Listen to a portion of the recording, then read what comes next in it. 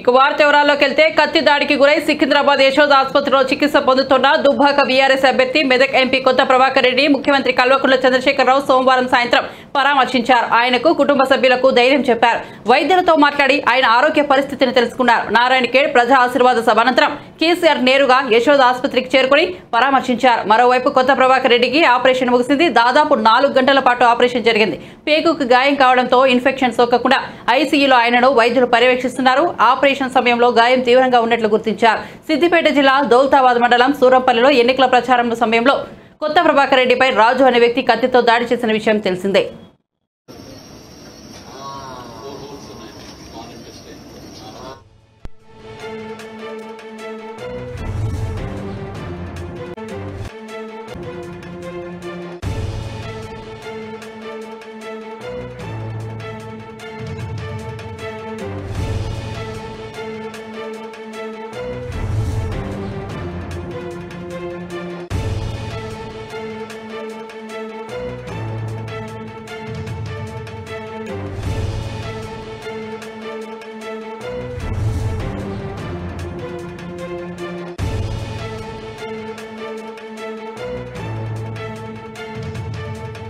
Thank you.